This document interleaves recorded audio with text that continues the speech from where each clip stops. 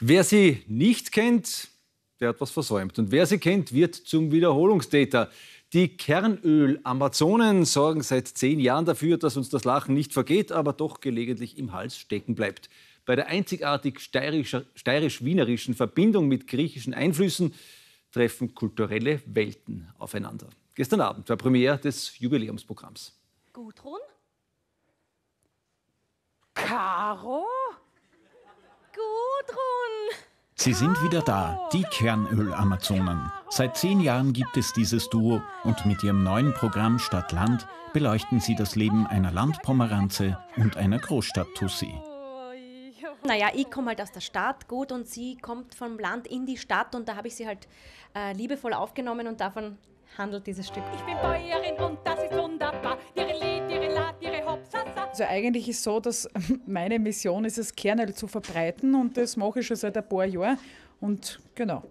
Ach so? Ja. Okay, gut. Ah, schön, schön, dass wir, schön, dass wir jetzt, jetzt besprechen, worum es in dem Stück geht. Weil Männer und Frauen sind das nackte Grauen, wie sie sich stundenlang tief in die Augen schauen.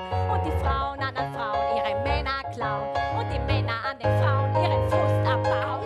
Wir schreiben beide die Lieder um, also wir suchen sie gemeinsam aus. Da gibt es ein, ja, mit, mit Prosecco jetzt nicht wirklich, aber halt irgendwie so, wir setzen uns zusammen und dann tun wir ein bisschen blödeln und schauen, welche Lieder irgendwie uns taugen und welche passen könnten und sowas. Heiße Nächte, heiße Nächte da im Stadel.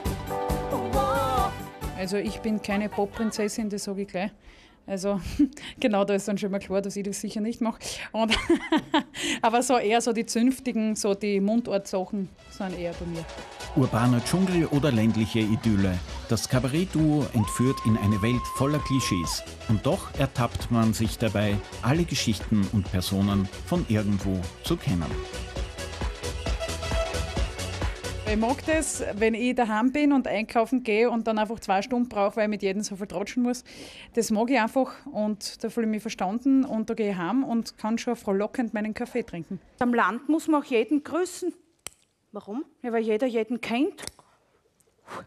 Und wenn ich einen nicht mag, Dann grüßt du ihn trotzdem und schimpfst hinter seinem Rücken. am Land, ja, das, also, da ist nichts. Es gibt nichts. Ja, das mag ich. Stadtland ist die humoristische Kulturanalyse im sechsten Programm der Kernöl-Amazonen. Mama, Mama, jetzt hast nah.